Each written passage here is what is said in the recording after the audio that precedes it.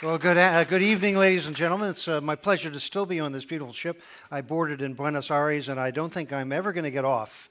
Well, maybe. I have to go home and shovel snow in upstate New York.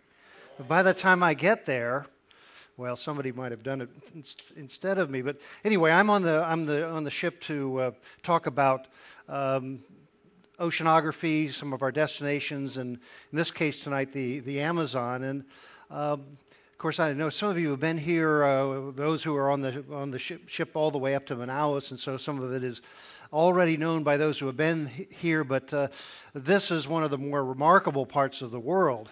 Uh, I had the uh, adventure of my life when I was uh, 19. I hitchhiked from my home in New York all the way to Brazil. And when I was, uh, I was, of course, a deluxe vagabond at that time, and I ended up coming down the headwaters of the Amazon and uh, living with some of the natives of Jivaro and Ecuador, then um, hitching rides in canoes, and I finally ended up in Manaus back when it was a small town.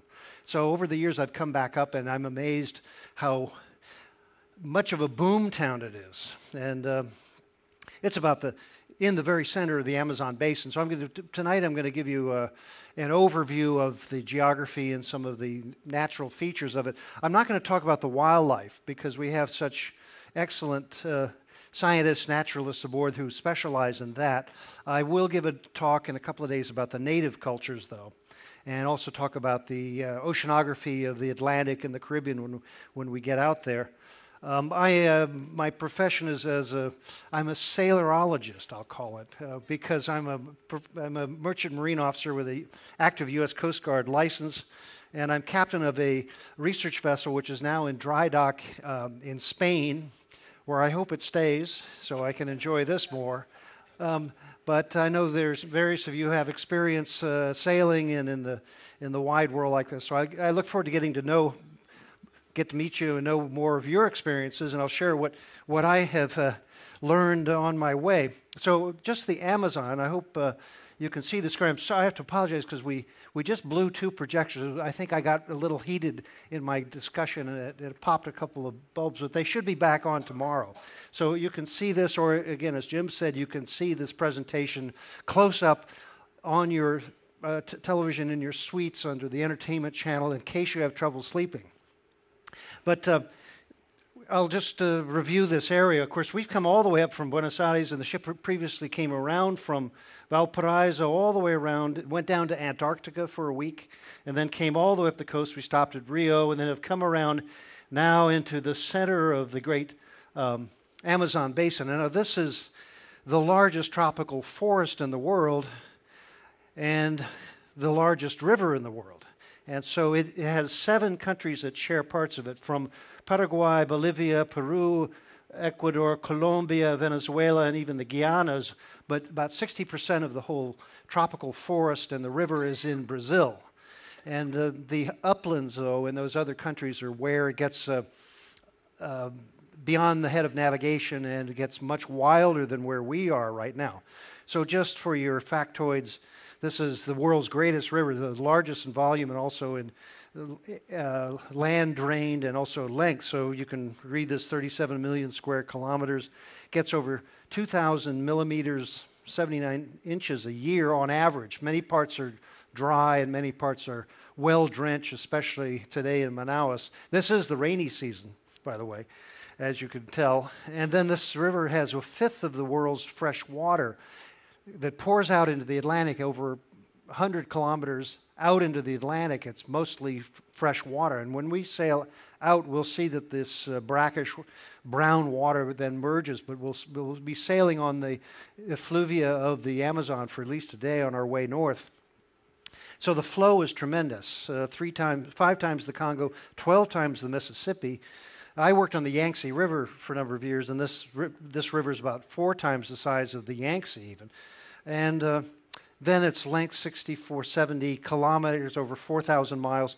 And a ship like this can go all the way up to Iquitos, making the Amazon the most navigable stretch of any river in the world, over 2,300 miles.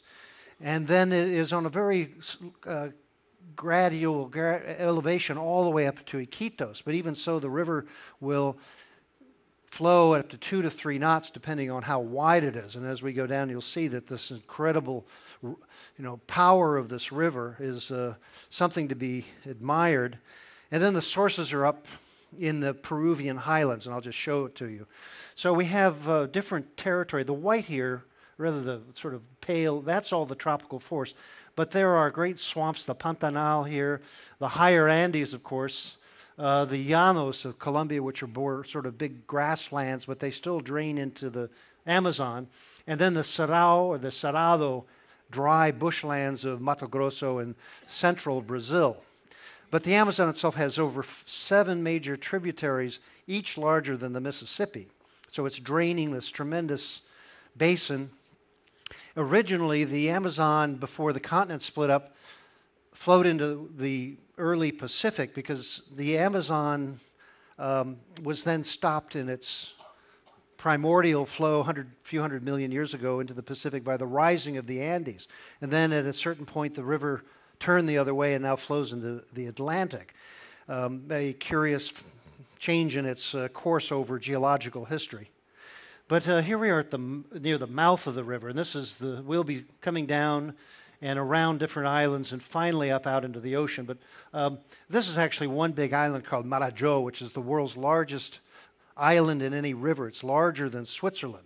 There are a lot of channels on the south side of it to get through, but our ship goes to the main channel out into the Atlantic. Uh, you can see that, that is not snow, those are actually clouds in this picture. But you can see the great uh, effluvial um, sediment that's going out into the larger Atlantic.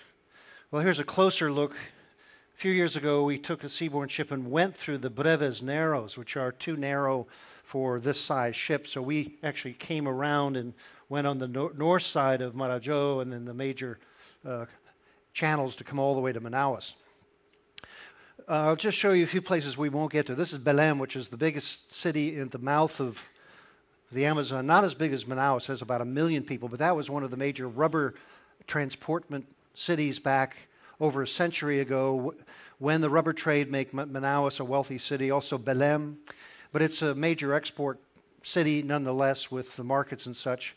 We don't stop there because we'll be going north, of course, to the Caribbean. But as you get down further into the uh, river basin, you can see how wide the river is um, as it mixes with other rivers. Uh, we, now we're up in the Rio, the uh, Rio Negro right here, the Black River, which is mixing with a Solimões River, which is where you have the meeting of the waters. When we depart uh, late tomorrow, we will go past that broad part of the water where the, the muddy Solimões and then the Rio Negro meet, and for miles they are two separate rivers before they finally get mixed. Uh, but as I said, we're here during the uh, rainy season, so you'll notice that uh, the clouds will gather, the humidity rises in the day. Often by midday, there's a tremendous shower, and then it often will clear up by the evening. So we've had, been, we've been having some fairly clear evenings, even though the day you can go out there and get a bit of a shower.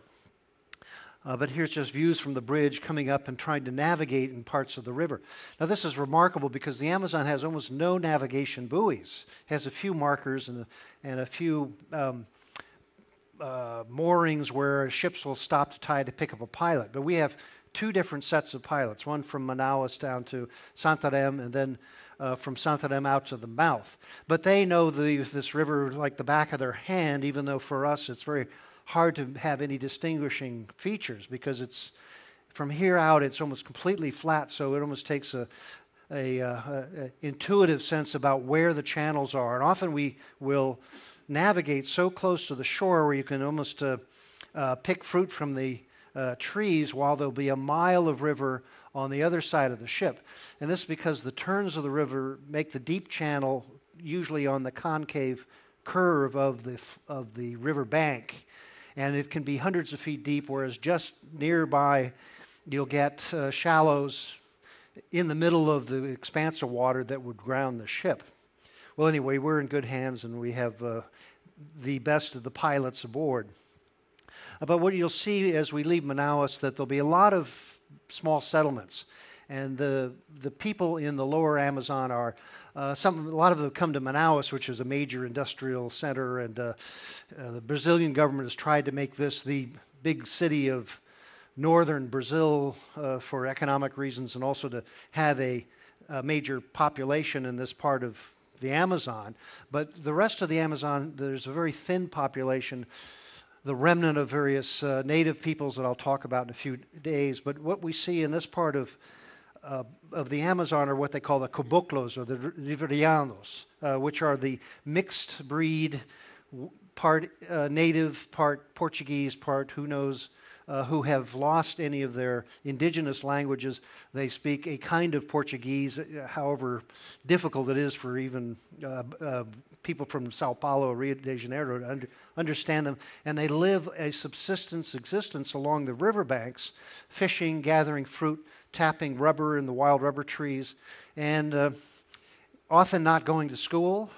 Uh, they, and also, they're nominally Catholic, so you'll see in places there'll be uh, uh, small settlements with a church, but they don't have any priests. They have lay teachers in these places.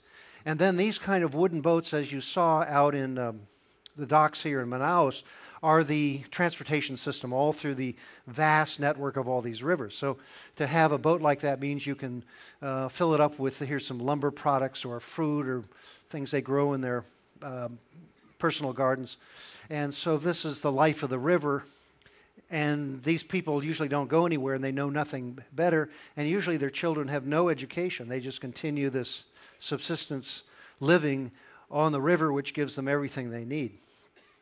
Well, I've been a river specialist, and by the way, my sister's here, Mimi, who is a river guide on the Colorado River and a boat builder by profession, and so she appreciates the the curl and the sort of the sensuous, nature of river waters versus the the flow of the ocean, which is a different uh, kind of uh, existence. But you'll you'll see this, and you'll be on deck the next few days and see the kind of the gentleness of the river uh, out here and the, the quality of the water. Now, we are, of course, coming from Manaus, the meeting of the rivers, the Solimões, the major tributary. And from here on down, it's called the Amazon. And I'll go into the origin of that in a minute. But then we go to um, Parintins, Santarém, uh, Guarujá up here, and then we'll go on out and go to the north. But this is the vast delta region where there's a lot of flooded areas. Now, the rainy season is upon us, it's rising. It's flooding all of these floodplains. In Manaus alone, the water rise between the height of the rainy season and the depth of the dry season is over 10 meters, so 50 feet of rise where we are. And the dock where we are is on a one of the world's biggest floating barges. So it goes up and down, has bridgeways. This was built in Scotland and towed over here back over maybe about 100 years ago now as how you can have a a, a functional dock in the river because otherwise it's a pretty steep climb in the dry season. So you'll see this uh, just outside of Manaus. It turns into all semi-virgin uh, forest because a lot of it was cut right along the river for building boats and things like that. But it, a lot of it grows back fairly quickly in the in the tropical climate. But you'll see these vast grasslands and flooded areas that they call uh, uh, in uh, Portuguese, caboclo, the local native term.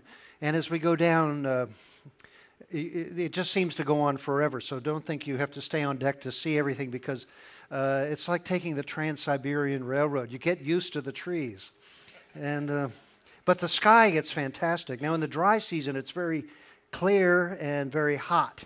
But in the rainy season, like now, you get these tremendous amounts of humidity that rise up, and then they'll create tremendous storms and dramatic uh, seascape or riverscapes, I should say. And this is the meeting of the waters. So you see the the Samaus with the silt coming from the Andes, matched by the tannic, acidic water of the Rio Negro. Um, this comes from the upper lands to the north, which have a quality of uh, releasing a lot of vegetation um, into the water that gives it that dark color.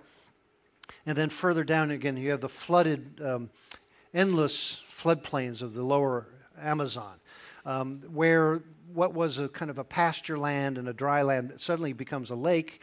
And this time of year, you take a boat out in that area, the wildlife gets out of the dry lands and then they go up into the trees. So this time of year it's good for going out on a small craft and you'll see the monkeys and the birds all sort of stranded in the trees. I mean, they're all right, but uh, in, in the dry season you can't even get to some of these places.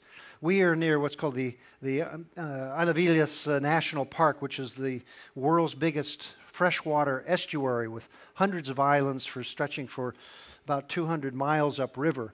And this is one of the national parks they made in Brazil to try to preserve this part of the um, Amazon area compared to the, let's say, the development you see in Manaus. So it's just vast and continues on and on. Now, further upriver, a lot of the tributaries turn into, oh, uh, let's say, meandering streams through the forest.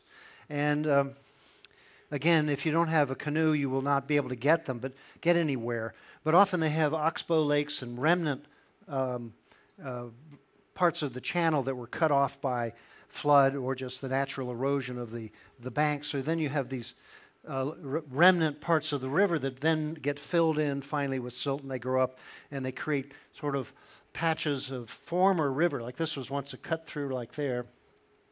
But of course, you can imagine if you're paddling your way there for a long time, as one poet said, when you're paddling a canoe, you wish you were a bird because you could just fly right over it, let's say. And so parts of the Amazon, I mean, this is a changing ecology, which I'll get more to, but whatever you think it is is often going to, within so many years, it, the channel might have changed, the, the land will have a different quality because the river moved away. And then when you get up into the upper Amazon, Peru, Ecuador, Colombia, suddenly it gets very steep and hilly.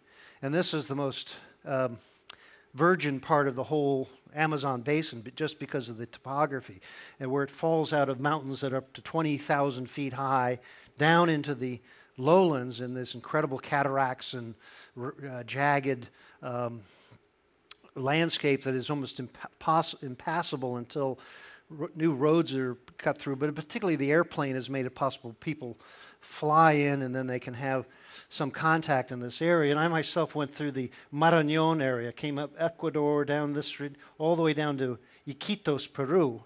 Uh, it took me over a month to do, do, a trip that was maybe 500 miles. And I got stuck in a Jivaro village because the rapids were so strong that they never went down there, but they sent word back upriver, and then a Ecuadorian military um, boat came, which was a high-powered speedboat, and then they uh, took me out of my uh, comfort in the village where I went hunting for uh, with blowguns for monkeys every day with the men, and then we ate uh, manioc, avocados, and monkey meat every day. And I could have stayed there and had a perfectly pleasant life, but they said, No, you're not allowed to be here. You're probably a Peruvian spy or something like that. And so they rowed me down the river, bounding through this uh, tremendous rapids to go through the last range of mountains in a, in a canyon they call the Boca Maria, the mouth of Mary, just as a prayer to get through alive. And then after that, the river suddenly was flat, and I continued on other boats all the way down to Iquitos. Well, this is what it looks like up there. You have uh, the forest turns into deciduous trees and then finally into a cloud forest where it's always enveloped in mist and a completely different ecology. And very few people are anywhere there in those mountains because they're just so rugged. There's no agriculture.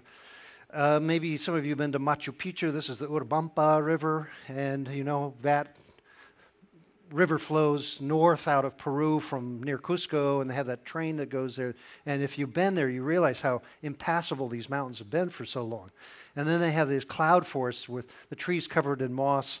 And amazingly, the Incans cut roads and laid stone to make a walkways, oh, only maybe two meters wide, to go through the mountains to get to Machu Picchu and other sites in this area.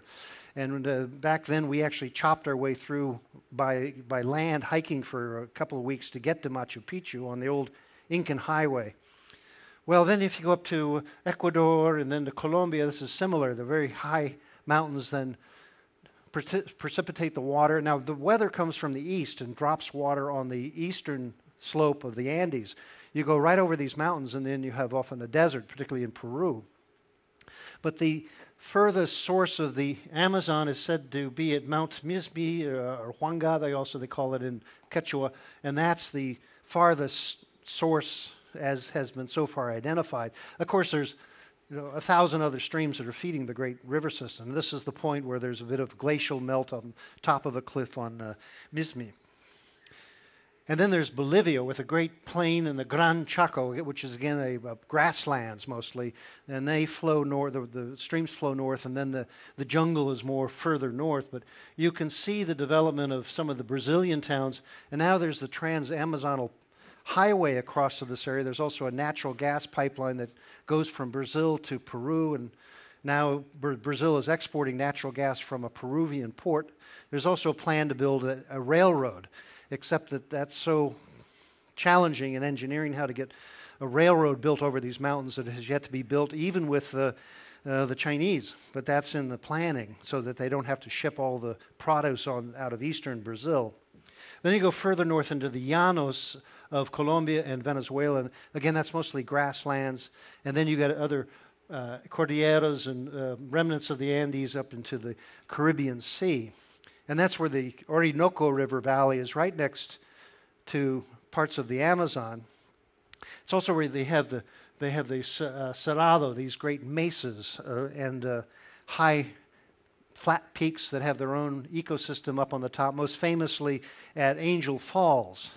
Now, this is, drains into the Amazon, and part of it drains in the Orinoco, but this is a sort of a place of great mythology and also some science.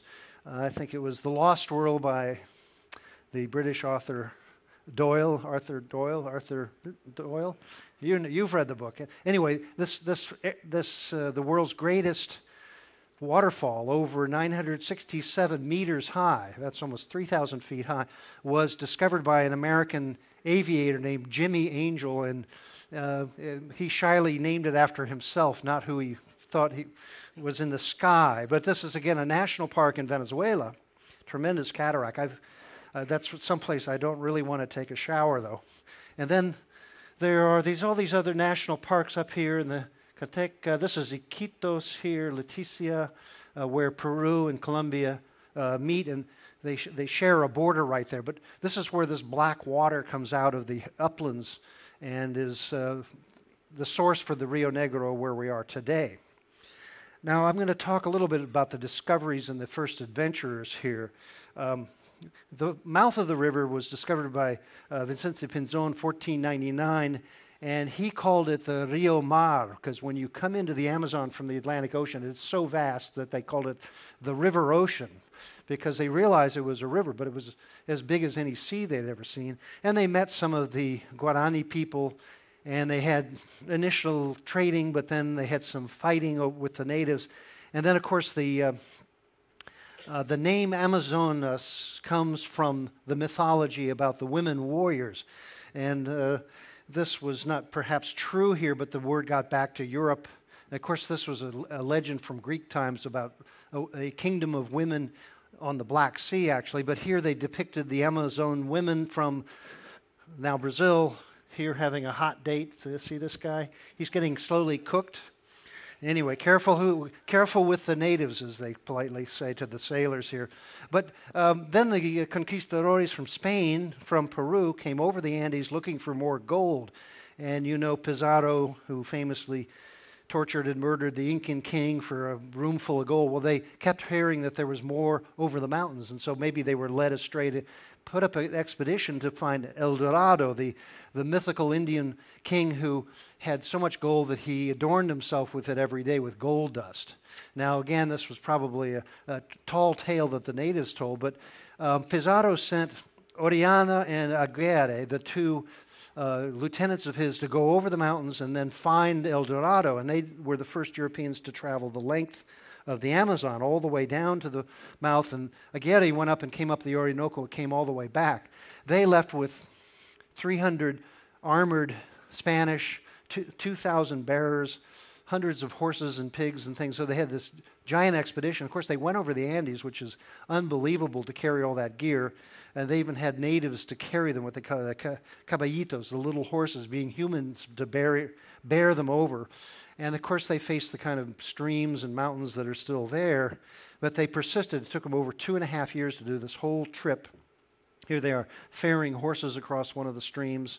they came to places that the natives said, well, El Dorado is just down the river down here. This is one lake they visited and drew this picture of a, tremendous lake uh, that's now in Colombia. But they never found gold. They did find the Amazon forest, though. And so these are illustrations later of just the size of the trees and the expanse of the land. And they just couldn't quite believe that there was such a vast place with uh, a, such a tropical forest. They had never seen such a thing. They were over in Peru, which is much more uh, temperate in a sense. Or, but they then fanned out and they discovered a lot of the rivers and they wrote the first uh, descriptions of, for instance, the giant Victoria lily pads and some of the animals like the giant caiman. They've been measured up to 35 feet and not, not meant for wrestling, but uh, uh, then they set up their first um, settlements. Um, they, uh, they tried to claim this in the name of Spain, so they put up small towns. This is Iquitos in Peru, and in 1750 there was an agreement between the um, Spanish and the Portuguese that this would be Portuguese territory to that point in, in, on the river, which remains to this day. That's the first town of uh, Peru. Uh, later, the Brazilians especially came into the Amazon, what they call the bandeiras, uh, to go hunting for the natives to make them slaves on the plantations in eastern Brazil. And so, what were generally peaceful people were suddenly rounded up and enslaved or killed. This became a terrible part of the history of the Amazon, with various of the Europeans coming in and just uh, treating the natives uh, as subhumans and putting them to work.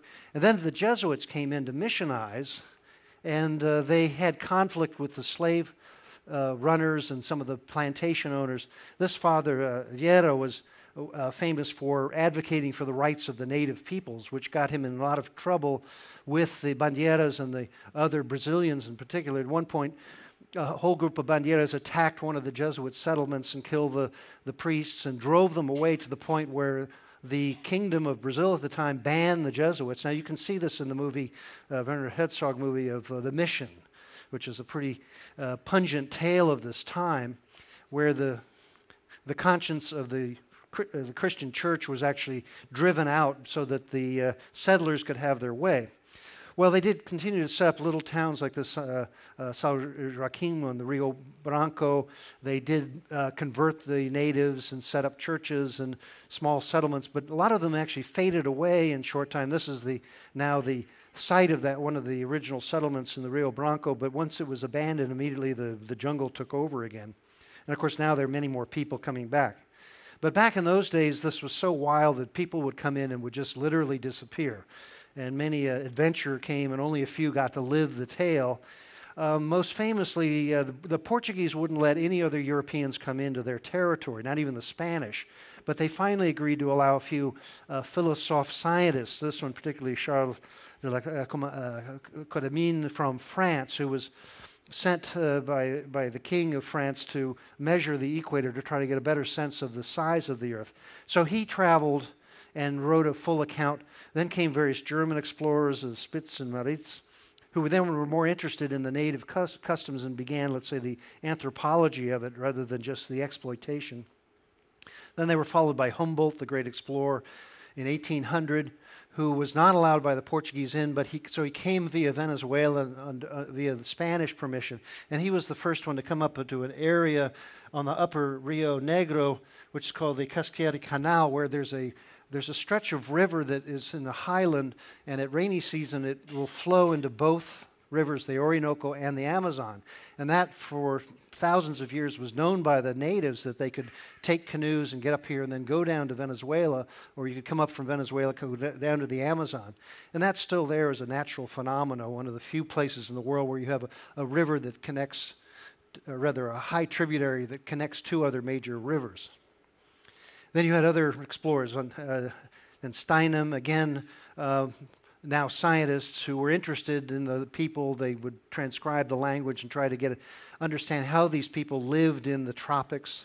Came many naturalists like uh, uh Bates, who was an, first of the, uh, the, the bird watchers and ornithologists. Uh, uh, to come into the Amazon, which is itself a fantastic uh, array. And, our naturalists from the Ventures team will show you a lot more about that wildlife. Uh, Arthur uh, Russel Wallace came, who was also a um, biologist, and he was famous for his work in Asia, but he also came to the Amazon and wrote quite a bit. Uh, this guy, Richard Bruce, Spruce, or he collected for um, the British Museum. And so this is where science came to the Amazon, really interested in the natural life and the, um, and the human life in the, in the whole region. This is one of Spence's drawings, of course, all before photography. And then came uh, the American Hiram Bingham, who famously went over the mountains and discovered Machu Picchu.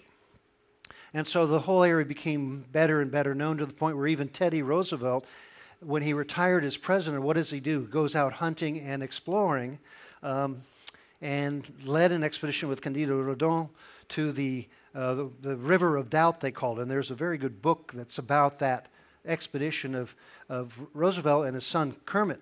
But as happened in those days, uh, the outsiders caught the malaria that uh, many of the natives are, are not susceptible to or they're immune to it.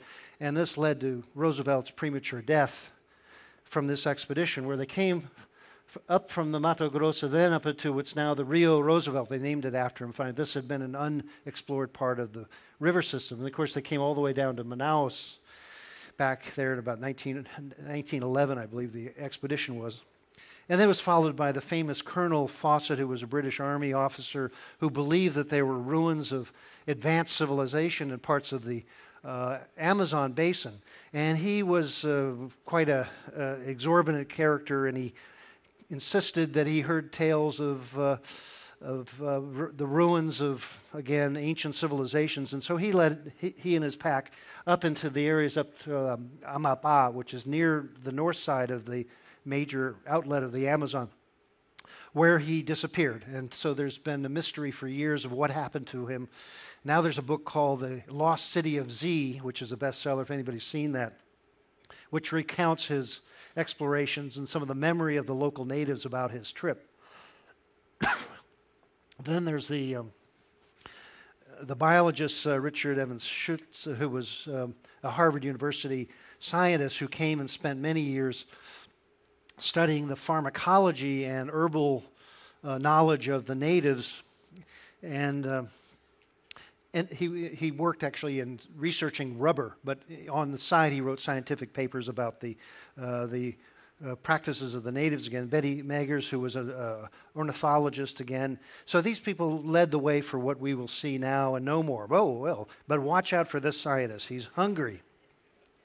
And I should say, uh, you know, people are worried about malaria and mosquito bites and Zika and all these things. Right where we are, there are no mosquitoes because the Rio Negro is too acid for them. Further downriver, there are, but um, you'll get the warning from the bridge about closing your balcony windows and they, they screen off the intakes on the ship. So uh, on our way up here, we had no problem. And while you're out moving on the river, it's no problem. If you go out and camp in the, the, the hinterland, you might have trouble, especially with these hungry little fish. But there are other hazards. I should show this one. Uh, this is called the kissing bug or the assassin bug, Rhodnius prolixus, and which I'm, I'm sorry to say, it bit me when I was camping in the upper Amazon.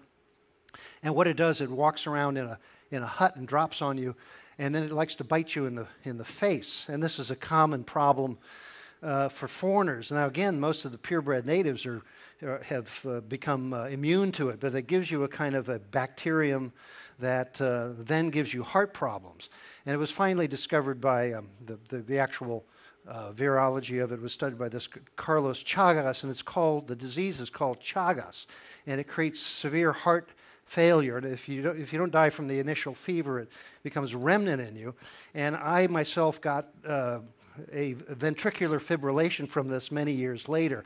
Is there any cardiologist in the house? I'm I, am i am late for my checkup. Well, it almost killed me for a number of t- many many times. I finally had a defibrillator implanted, and then the condition went away. So if, you, if it doesn't kill you, then, then it just is gone. So now I feel comfortable. I'm probably immune to it, and uh, it won't get me yet. But uh, meanwhile, those are the kind of dangers that the uh, Amazon has for particularly the explorers and those who come into it to stay and live.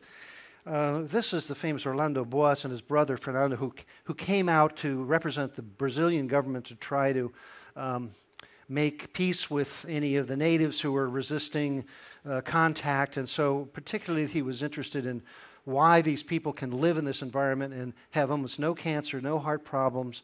Um, they live a fairly long life, usually accidental drowning or else warfare was their cause of death. But what they did succumb to were outside diseases, the flu, the smallpox, cholera, all those things were brought in, and they decimated the local populations. And so Boas and his um, compatriots tried to uh, protect the native peoples from the contact with foreign um, diseases and also incursions on their land. Now, again, I'll talk about that in more detail in a few days. But meanwhile, what's going on now is the f- completion of the Trans Amazon Highway, which stretches for over 2,500 miles from uh, Belém all the way to the Peruvian border, and then it hasn't gone over the Andes. It just fits into the local roads of Peru. And it, what it has done is open up room for settlers. And the Brazil government has had a kind of a homestead act. If you go in and you clear land and set up a house, then you can get title. So for the last number of decades, there's been a land rush that follows the bulldozers to create new settlements all through, particularly the southern Amazon. So the other um, famous Brazilian who tried to moderate this incursion into the Amazon was Chico Mendes, who was a representative for the wild rubber ta- tappers. In 1988, he was murdered by some people that were never indicted, and he became the first uh, sort of ecological uh, martyr for Brazil. Um, though the development goes on because between the, the airplane, the bulldozer, and the chainsaw, there's a great deal of uh, destruction going on in the Amazon now, and it's a continuing uh, crisis. And uh, uh one of the, uh, the naturalists, Caro, will talk much more in detail about this, but I'll just show you what goes on. The virgin forest gets cut for the timber, but particularly to deforest it um, for agriculture, but the wood is out, and then the land is burnt and then stripped of all of its uh, uh, wildlife and all, and then raised uh, for soybean or cattle ranching. And so this has chewed up maybe already 15 to 20 percent of the old rainforest. And uh, you can see, as you particularly go to the southern side of the Amazon, it's always burning. Um, just in the last year, they said they, from satellite, they counted over 18,000 fires during the dry season, just burning slowly through the forest, usually set by people because they clear the land uh, and then they plant uh, either grasses for the cattle or, and or the big crop now is soybeans. But this kind of destruction is, of course, uh, um, a, a, great tragedy because what happens, the whole area turns into a desert. And you get a few crops out of it, and then they move on and cut down more forest because there's very little soil and it, it washes away. And then when the sun gets on it with no uh, cover of the forest, the soil actually bakes and becomes as hard as a brick. And so then it's useless. And so this is a an ongoing uh, problem of Brazil. They keep saying that it's getting uh, moderated and not so bad, but actually it goes on anyway. And so, particularly the cattle grazing is is particularly uh, destructive because uh, the cows eat up everything, and then they again they have to move on because it turns into a desert. So, but it's a tough life, and they have uh, a lot of pressure to have employment, and then of course the Brazilians eat a lot of beef, but a lot of it gets exported. And uh, so, at your basic fast food restaurant in the north, it's usually Brazilian beef. But the soybean is the big cash crop now. That uh, and uh, uh, some sugar cane is grown, and so when they begin to clear and grow that, again the soil is depleted and then it is exhausted. Uh, but the people are tough. They just keep going after it. And again, the homesteading policies of the Brazilian government has meant a lot of displaced poor from the the ever more dry central Brazil are moving into the Amazon, get their own land. Um, and this is uh, a, a, social problem. Most of uh, the, the, land, over 55% of the land in Brazil, is owned by 1% of the elite. And so these are usually landless peasants who come to the Amazon just to get a little track and then they raise their family and then they keep moving into the forest for uh, their sustenance. The other problem in the Amazon is the Brazilian government's plan to dam many of the rivers, and this has flooded a lot of forests, displaced native people, and led to the collapse of some of the upper river systems. They have yet to build a dam on the main Amazon. It's just too big. So there are many, many dams in the upper areas on both south and north side of the main uh, flow of the Amazon. But again, it, it demolishes the forest. You see here some of the dams are being built. And because Brazil takes over 60% of its elect- electricity from hydroelectric power.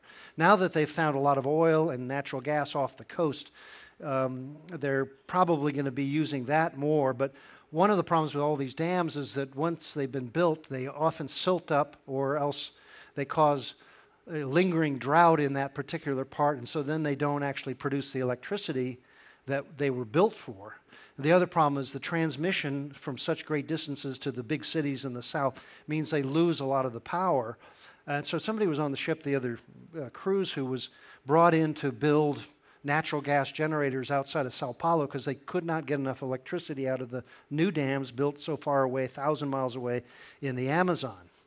The other problem are the mining uh, interests. There are big iron ore mines on the north side. There are a lot of gold placer, um, small claim, and uh, illegal dams uh, on the lower Amazon. And of course, what that does is it puts mercury into the river and cyanide and poisons the fish life.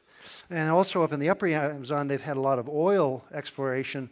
Chevron up in the upper Ecuadorian region finally had an international suit. They had to pay uh, damages to the Ecuadorian government for polluting vast stretches of the upper uh, Marañon River. And then you have all the settlers. Um, they estimated there may have been 5 million natives in all of the Amazon uh, basin before contact. Now there are only about 200,000 left. But now there are about 24 million Brazilians and other nationalities living in the industrial sites and in the big cities that is like we just are in. And so this is where the Amazon keeps getting chewed away at and developed. And, you know, some people do quite well, they have their life, but the damage to the environment is uh, unbelievable. Here's the last little remnant of the upper forest in the foothills of Peru. It's all been cut for timber, and now, of course, it's running silt down the river and uh, turning the area into a desert. So these are the some of the graphs of just what's going on. The um, untouched forest is maybe 80, 75 percent, with the red areas are the recent deforestation. And what this has done is meant that whole area now doesn't get as much rainfall. And each area is under a different state of the 26 states of Brazil. Often they have different local policies that the federal government uh, can't quite control, especially on the Rondônia on the Bolivian side down here. That's the latest part of this sort of vast uh, deforestation that's going on. And the numbers are often inaccurate, but you can see it quite clearly from aerial and satellite uh, uh, uh, sensing of this whole area. So international organizations are watching this, often not believing what the Brazilian government says. So one of the laws that Brasilia passed was that 20% of any new agricultural land has to be left forest. So they leave these little islands of, of the woods surrounded by soybeans, but these islands are unsustainable. There's no habitat for very much in there, maybe some bugs, a few birds, but all the larger animals are gone. And then eventually they cut them down for, you know, just to have a little more crop. So this is a the most serious problem in the Amazon basin the cattle ranching, the agriculture, the timbering, the mining. And so it uh, continues on, and you know, within our lifetimes, maybe another half of it will be gone. They say within 150 years, the whole Amazon may be just a national park remnants in an island of development and, and population. And the Brazilian government is always uh, at odds with its own self over what to do. Meanwhile, illegal log- logging goes on, often under the auspices of the authorities that are sent to, to protect it. But the Brazilians have a very strong attitude, even with uh, the former president Lula da Silva, that, that the international community and outside environmentalists and concerned people should not tell Brazil what to do. And there was a, a saying that he had that Amazonia is nossa. That means the Amazon is ours, and it's ours to decide and use as a national resource. But uh, some international groups have come to the point where they actually send in um, money to buy up land. So, particularly the Norwegian National Sovereign Fund has sent over a billion dollars just to buy critical parts of the Amazon that have been identified they should not be um, uh, developed and impacted. Well, anyway, I'll go back to just the people. This is a typical village like you'll have outside of Manaus. You can go on a tour from here, Santarém, the other places, and you'll see that even so, this is a tremendous uh, place with the, even if it's a second growth forest, there's still this life that happens all through all these rivers that uh, is sort of uh, relaxed and charming and friendly. I mean, the Brazilians are naturally uh, outgoing and friendly people, and uh, but they have a very poor life if you count it in material substances. Um, this little village where we went uh, did have a little generator. They're off the grid completely, but they ran the generator every day so they could listen to the radio or have their TV on or have their phones charged and have their internet. So even in the most remote places now, they all realize that the world is far bigger than even the Amazon. So this woman and her family were in a field growing manioc and papaya, mangoes, and the staple is manioc or cassava, yucca, many names for it. That's the um, crop of the Amazon, which is a tuber that you have to clean and wash um, to eat. The other great gifts of the Amazon are chili pe- uh, peppers and also uh, tobacco and also cacao of chocolate. So, what would the world do without these crops from the Amazon? So I just uh, took a picture of this little kid in this village who, who looked up as like we were the first explorers to ever come from another continent to come see him. And so, you know, you can see in the eyes of these children out in these little villages that, you know, their life will be probably transformed in ways uh, that we don't even know as the changes continue, or they may move to Manaus and uh, uh, have an industrial urban life. Um, but uh, here's the symbol of Brazil. This is actually a picture I took uh, yesterday on that uh, customs building right off the dock. And so the, the pride of the Brazilians is expressed in their presence in the Amazon, I'd say. And so you come to a city like Manaus, which I remember as a little colonial leftover town of once upon a time, and you have tremendous development right here, which is probably going to go on. And just a few years ago, they opened the first bridge across the Amazon. We can see out on the deck up here, which is the uh, Rio Negro, Ponte Rio Negro, that goes for uh, three kilometers across to the other side where there's nothing. And there's no road to anywhere. But that's sort of like the ultimate Brazilian bridge to nowhere. But it is the symbol of the future of the Amazon for better and for worse. And so I hope you can appreciate this fantastic place uh, and uh, you know understand some of its problems and appreciate the resilience of this ecosystem and the people.